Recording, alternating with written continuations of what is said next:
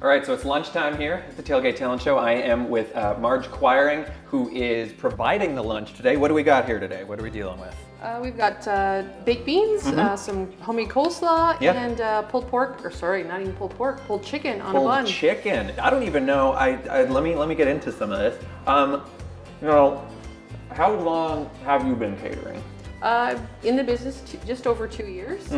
Yeah. Do just you do all kinds of events all over town? Yeah, um, Mm-hmm. a lot of corporate stuff. Uh, some small weddings, stuff like this. Whenever people want food. Mm-hmm. Um, You're there. Yeah. Quiring will be there. And Yeah, what, what yeah. sort of your specialty? Would you say it's this? Would you say it's uh, really, I could do any. Well, actually, one of my the people, the customers' favorite is the meatloaf that I make. okay? uh, for my dinner at homes. Uh, so that's a takeout thing that I do Tuesdays and Thursdays. That's beautiful. Marge, you're doing a fantastic job here. We love it. I'm having a fantastic time.